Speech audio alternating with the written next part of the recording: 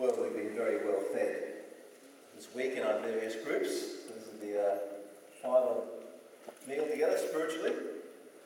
Now let's pray then that this too might be a, a good banquet, and that God might again speak to us and convict us and challenge us and encourage us as He comes to us in the voice of the Lord Jesus. Let's pray.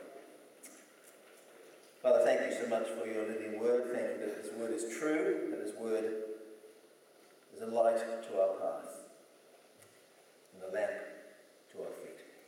And we want to walk, Father, in the path of righteousness. So we pray again this day, you'll guide us by your word. You know our various needs, our various layers of belief and unbelief, our struggles, our doubts, our concerns, we pray again today we see Jesus in all his glory and all his uniqueness, that you might encourage us and embolden us to serve him and to make him known for his glory's sake. Amen. I was asked a few years ago uh, to, to, speak at a cathedral in Sydney. I don't do a lot of cathedral speaking, uh, but I, I, did that one. It's uh, called St Andrews. If you've been to cathedrals, they're pretty formal places and formal events, and all the uh, the clergy, they call them all the ministers, get all dressed up. I'm a, I'm a minister, so I, I got my gear on. Uh, if, you've, and if you've seen the gear, it's, uh, if, you have, if you haven't, there were these black gowns called cassocks, these white things over them called surplices. If you're not sure what they look like, I guess the best thing would perhaps go down to the Penguin Parade. Uh, just, it's, it's kind of like kind of like that as we walk up the aisle. It's a bit like that. Anyway, that's what. So I got dressed up, and, and uh, mean, with these clerical coats. And the service was in Sydney at 6 pm on George Street, which is like the Swanston Street of Sydney, a very busy street. Six o'clock was peak hour, traffic was very slow. My wife driving me. Said, honey, just drop me at the end of the street. It's just, just it's a car park. I'll, I'll, just walk the other half a mile. So she got me off at the end and walk up the street with my gowns over my arm and my clerical colony. This is at the time the height of those notorious uh, scandals of, of, of, priests, mainly Catholic, but not just Catholic, who are so abusing authority and molesting, interfering with young, young boys and girls. And I, and I walked up the street in my priestly shirt. Now, I might have been just being overly sensitive, but I kind of thought like everybody was looking at me and ask themselves, is he one of them?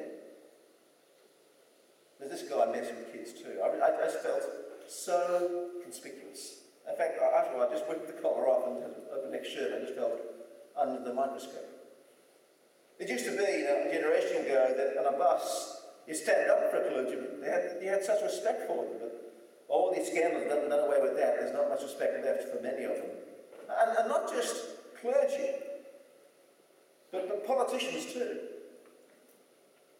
Think the Vietnam War really ended our respect for politicians. Here was a war, for the first time we saw on our TVs, we see the war played out live. We could see the napalm bombs, the carnage, the suffering. And, there, and, we, and we asked my generation, why are we fighting in a war in, what's it called? Vietnam. Where's Vietnam? Way over there. What are we doing over there? Fighting, killing people over there. And frankly, we just didn't believe the government's answer. They said, oh, we're going to stop the spread of communism because you know, if Vietnam falls and tomorrow it's Indonesia, then we fall next. I said, come. We just didn't believe them. And for us, especially for Americans, the final nail in the coffin was Watergate. We thought these guys are liars, but now, now we had proof. They called uh, Richard Nixon, his nickname was Tricky Dicky. Well, he was. He was, he was a liar. In fact, what he'd done, Tricky Dicky, amazingly, in his years in the White House, he'd made tapes of every conversation in the Oval Office, every one. And then they replayed them. And you saw the real man, who was meant to be a Christian, who was foul mouthed and paranoid and a liar. And just couldn't, just can't believe them. And we stopped believing them. What do we call, is that, uh, our Prime Minister? Julia Gillard, is what they say? One day she's saying no carbon tax, now she's saying there is. And we just, one of the legacies of my generation, the baby boomers we've given to you, not a great one, is a distrust in authority Being in clergy or politicians, even teachers and parents. And we concluded, as I think you have, that in the end, I only trust one person. And that's me. I'll be true to myself. I can't trust those in authority. I, I can just trust me, and I'll decide what's right and wrong. Now that has for us, I think, enormous implications for gospel preaching.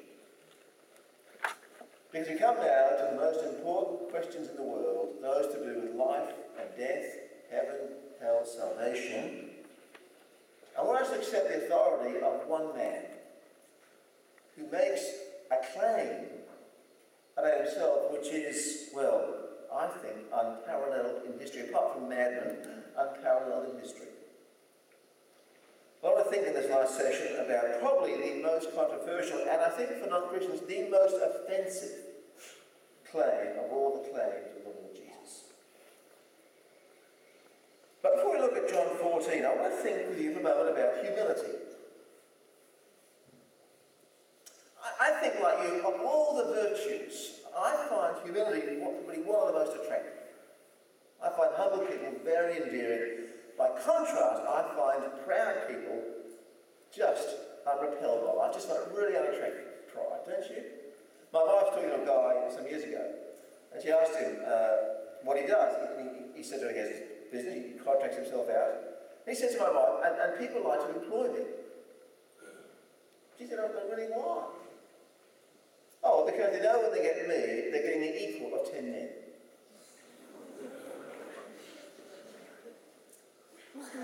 was she impressed? Not entirely. I heard about a guy recently who was just beginning to be a public speaker, developing his skills of public speaking.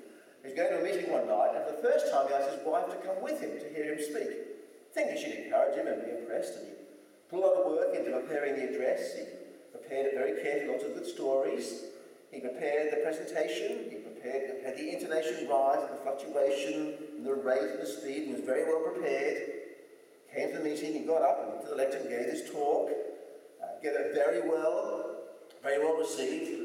The hour went by like that, flew, flew the a moment, and people came up at the end and shook his hand, and said how good it was, and he was very pleased. And driving home in the car with his wife, he said to his honey, his wife, honey, how many really great speakers do you think there are in the world? And she leaned over and touched him and said, uh, Dear, one less than you think.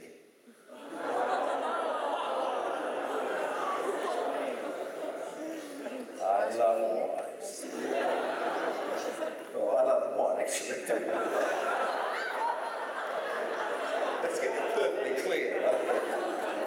So I, I, I, do find the most, uh, uh, I just find proud people unattractive. I uh, find humble people like Gandhi, like Mandela, like Mother Teresa, I, I find humble people very attractive. And I think that's why people like Jesus so much. And they do, I think, in part because he, he's so humble. People, when they think of Jesus, like him. And I, I often find no fault in him. Even I, I've been studying Islam in the last 11 years. And Muslims, while they revere Muhammad very highly, can say nothing bad about Jesus. There's a story Muslims tell, a tradition that Muhammad told, about, about the last day, the day of resurrection. People come before God for judgment, and people are scared because of their sins. And they want someone to, to go to God on their behalf and intercede for them. So they go to all the prophets, they, they go to Adam. They say to Adam, Adam, please intercede for us. Don't you see what trouble we are in? And Adam says, Well, I can't intercede for you. I, I, I ate the fruit of the tree. I, I've got to worry about myself. Go to Noah. So he goes to Noah, Noah, please intercede for us. Can't you see we're in trouble? He says, I, I curse the people. I can't, I've got to pray for myself. Go, go to Abraham. So they go to Abraham, who says, Look, I, I lied. I passed my wife off with my sister. I can't help you. And they go through all the prophets. Then they come to Jesus. And the Muslim tradition says this he mentioned no sin of his. He simply said, I'm concerned with myself. Of all the prophets in Islam, only this one, do they say, really was sinless. So Christian and non-Christian alike admire Jesus enormously. His treatment of people, his courage, and I think particularly his humility. One of my colleagues at Moore College said to me one time that the virtue of social humility began with Jesus.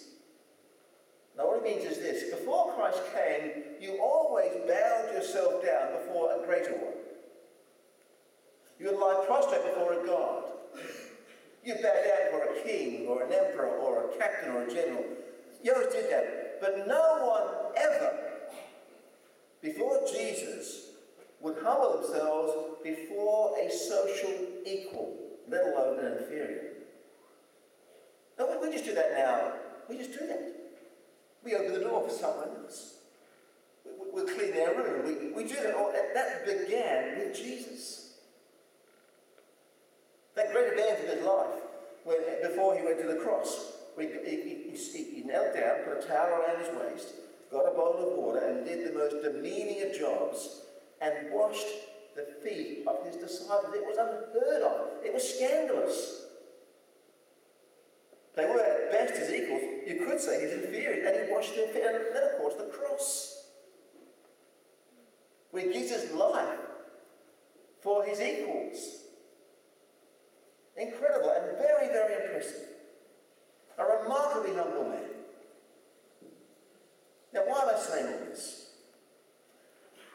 Because our topic this morning is not Christ's humility, but his apparent arrogance. Because the one thing that gets up people's noses about Christians more than anything else, more than our perceived wowserism, is this claim that we are right and the rest of the world is wrong. That the only way to God is through Christ and to hell with the rest of the world. That just really, really angers people. One of our country's leading atheists is Phillip Adams, a Sydney journalist.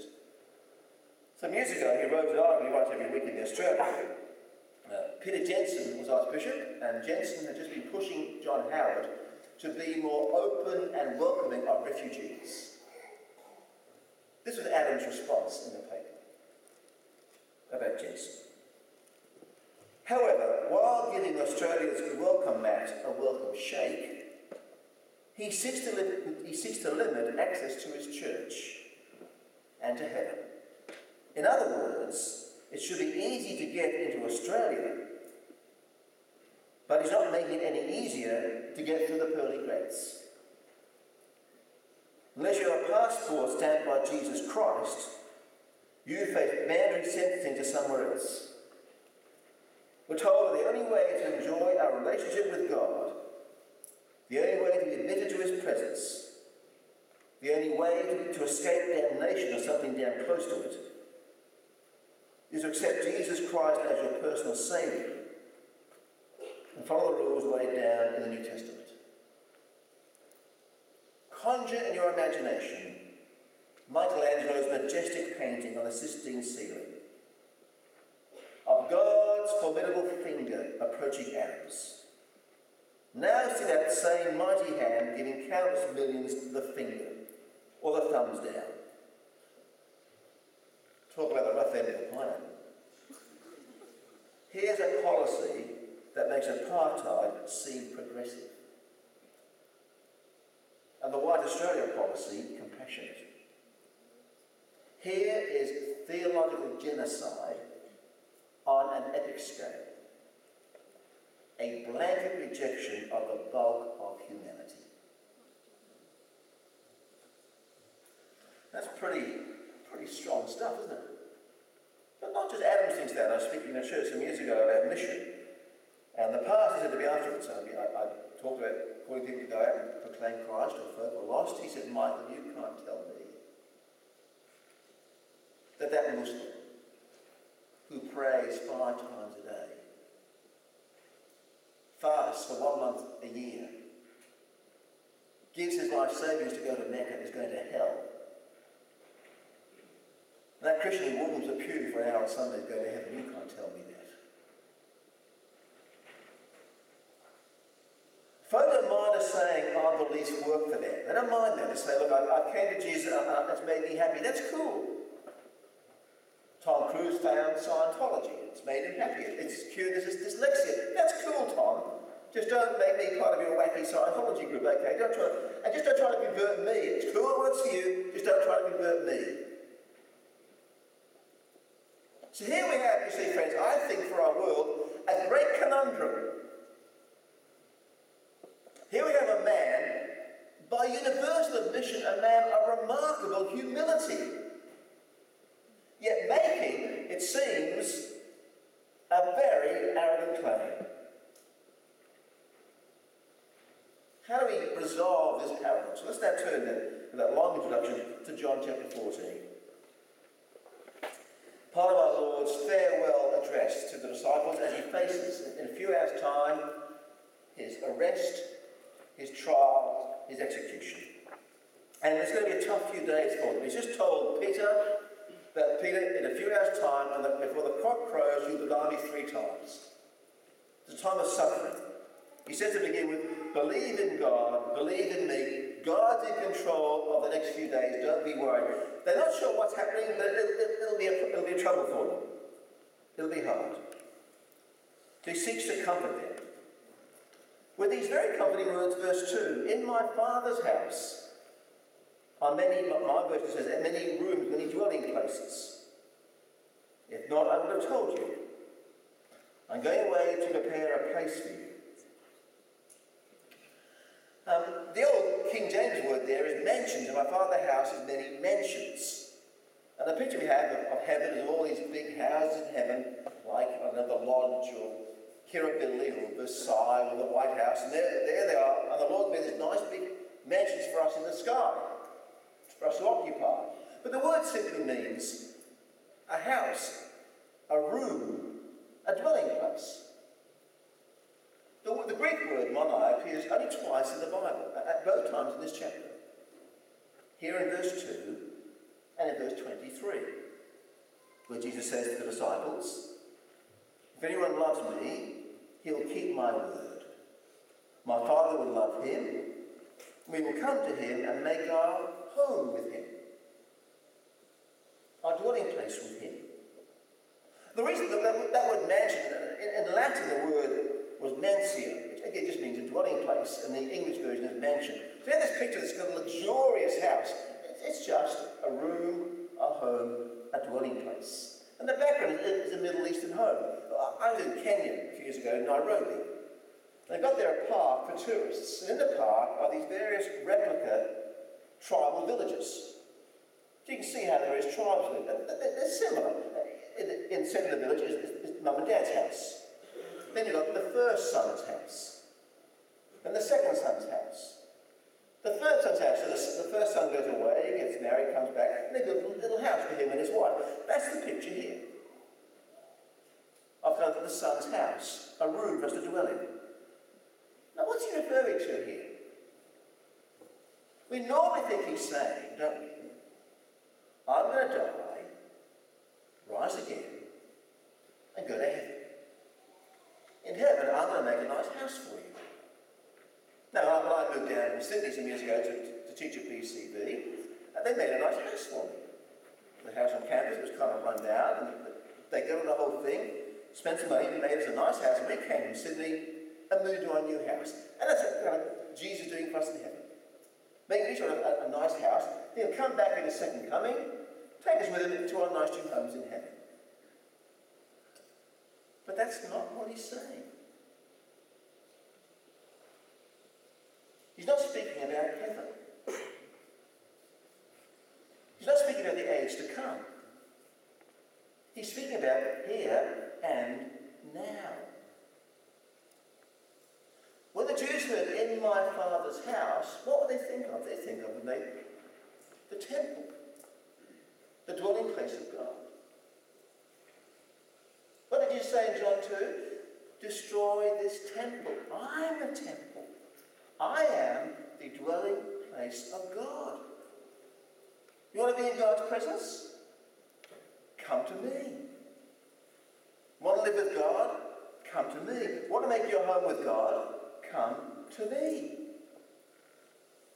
He's saying, what, what he's saying is this I'm going to die. I'm going to rise again, and by my death and resurrection, I'm going to make it possible for you to come into God's presence and a stacks of room in God's presence for all his people. Actually, the noun appears only twice here in John 14, but the verb appears in John 15. John 15, verse 5. I'm the vine, you're the branches. The one who remains, the one who homes, the one who dwells in me, and I in him produces much fruit. That's here and now. Here and now we enter God's presence and dwell with him. The Lord's talk about coming and going has perplexed the disciples, and they have lots of questions like, like where are you going, Jesus? And um, shows the Father. Where will you show yourself to the world? But John's the key question. Jesus, where are you going? Pull out the Melways. Tell us where you, are you going to Greece? To Turkey? Where are you going? He's going to the Father.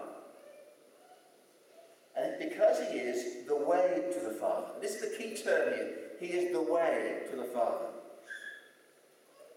Because right through John's Gospel, we present Jesus who is the unique Son of God. Now, in a sense, all people are God's children, his offspring. And you and I are God's children by adoption.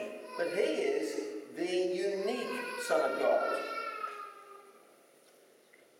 Jesus never invites us with him to pray our Father. He says, You pray our Father. But he never says, With me, pray our Father. He calls God my Father or just the Father. In fact, when, he is, when he's uh, risen, he says to Mary Magdalene, Go to the disciples. Go tell them, I'm ascending to your God and to my God, to your Father and to my Father. He is God's Son. We're sons and daughters, but it's not the same thing. He is the Son from eternity. He's the Son by nature. We're sons and daughters by adoption. He's the Son by, right, by right. We're sons by grace. Same Father, different relationship. He is uniquely God's Son. Only twice, you know, only twice in the Gospels does God speak.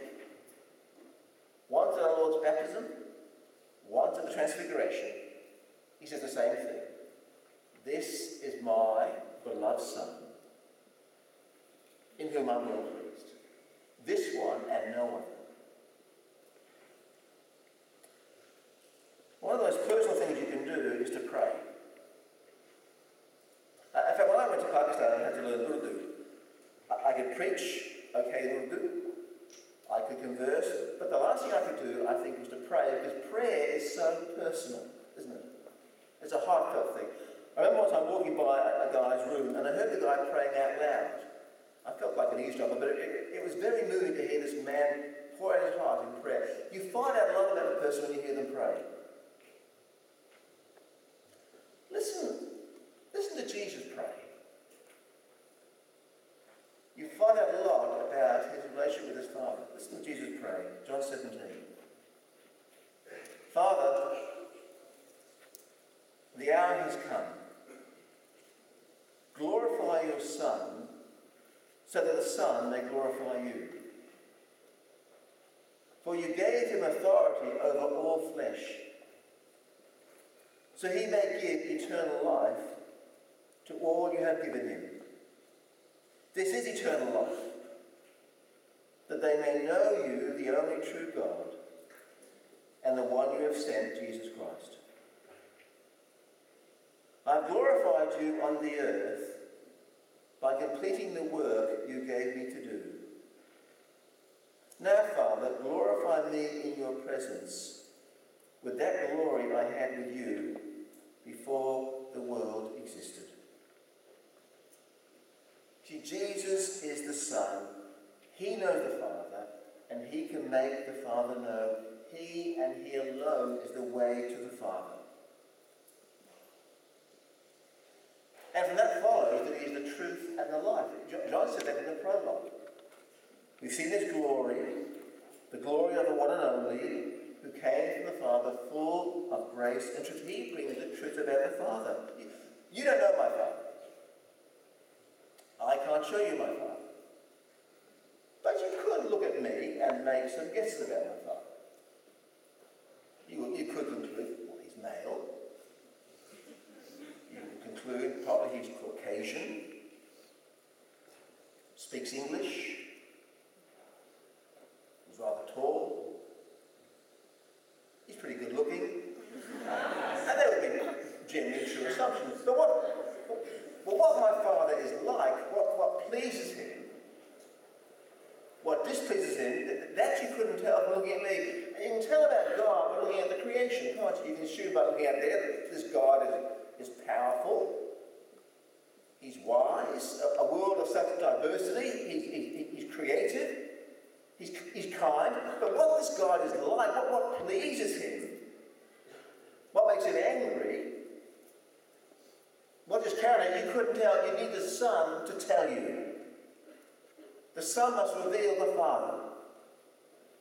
He must give you the truth about the Father, in him is life. As he said as he prayed, he brings life in the Father. So he says, and the conclusion is, and the right one, no one can come to the Father except, of course, through the Son. For, for only the Son knows him from eternity. Well, that's John 14, 6. A verse we love, a verse I think the world by and large has a problem with. But can't you see the conundrum? The great paradox, it's perplexing. Here's a man, a man arguably the most humble man who ever lived. A man who's a model of humility. A man in his teaching and his life, but yet making a claim about himself, which seems arrogant. How, how do you resolve this conundrum? I think there's only one way. Only one explanation. That what the man said about himself and the Father was true. Was simply speaking the truth. Let me say, to begin with, that a claim to exclusivity isn't of itself arrogant. You might be arrogant how you do it, but the claim isn't arrogant. I've got a daughter, Laura, who's 15. Uh, about eight years ago, she contracted diabetes.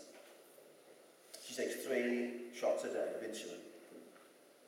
She has to be vigilant to, to, to control it, and if she's not vigilant, it, it can be fatal. Now, let's say I discover a vaccine that cures diabetes. That would be a very significant development medically. I could be very arrogant. I could patent it and charge people thousands. I could say I deserve the Nobel Prize. I could go around and tout myself as a, as a great discoverer, a great doctor. I could call it the Raiter vaccine. I could be thoroughly obnoxious. Or I could be like most scientists, I could be fairly self-effacing. The issue is not how I behave, the issue is have, have I found the vaccine? Have I made this discovery? If I have, I'm the way to cure your diabetes. If I have, I can bring you the truth about how to cure it. If I have, I can bring you a whole new quality of life. I am, in a sense, when it comes to diabetes, the way, the truth, and the life. But our Lord is speaking not here about physical illnesses, but a spiritual condition. That He is the one who's come from the Father and go to the Father, and therefore can take us with Him. There was a Muslim some years ago who became a Christian in Africa. And his friends were, were very angry. they said, why, why have you done this and turned your back on Islam to follow this Christ? He said, suppose you were walking down a road. And the road came to a fork. And you didn't know which way to go. And by the fork were two men. One was alive, and one was dead. Which one would you ask to show you the way?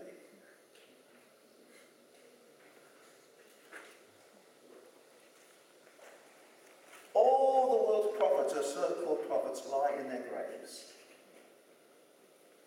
But this one, who came from the Father, rose from the dead. Now, if you believe this, that He is the way to the Father, the way to eternal life, then I would say to you this morning world's greatest need is missionaries.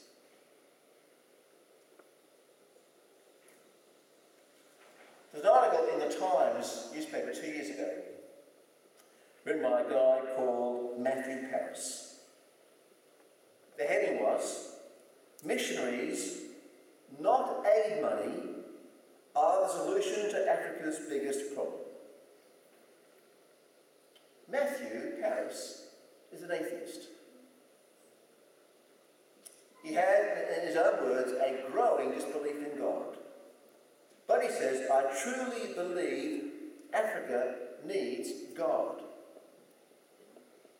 Let me read what he says.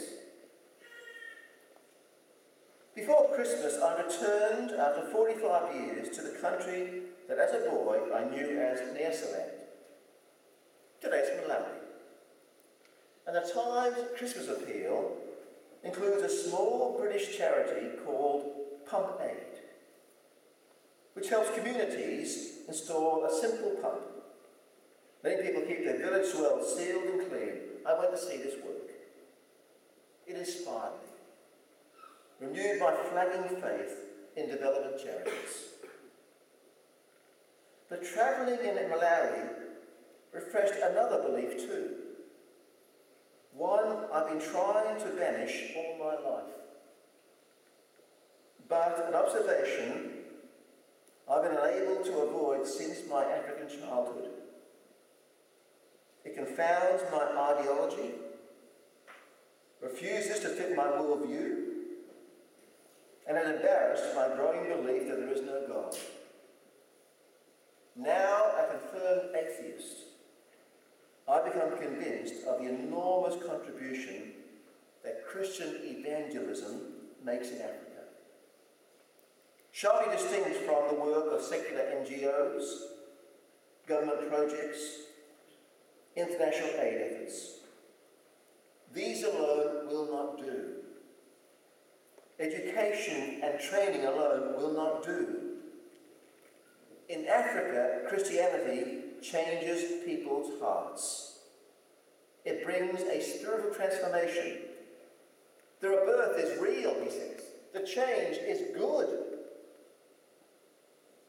In the city of working force Africans who had converted and were strong believers the Christians were always different.